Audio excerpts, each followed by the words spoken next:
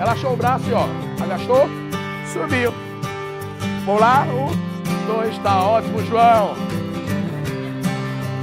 O objetivo do teatro no CBV não é a criação de grandes atores e grandes atrizes. Não. É a melhoria dessa criança como pessoa. A importância do teatro no CBV para a vida desses alunos é eles se libertarem. Espartanos! Esse trabalho interfere muito positivamente quando eles estiverem na universidade.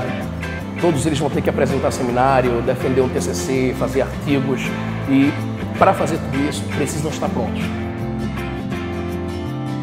Quem vai entrar, toma cuidado. Também que construindo uma coisa, desfaz.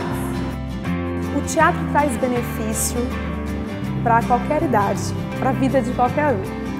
Mas quando introduzido cedo, no caso do colégio, terceiro ano do ensino fundamental, ele serve como um instrumento no desenvolvimento dessa criança.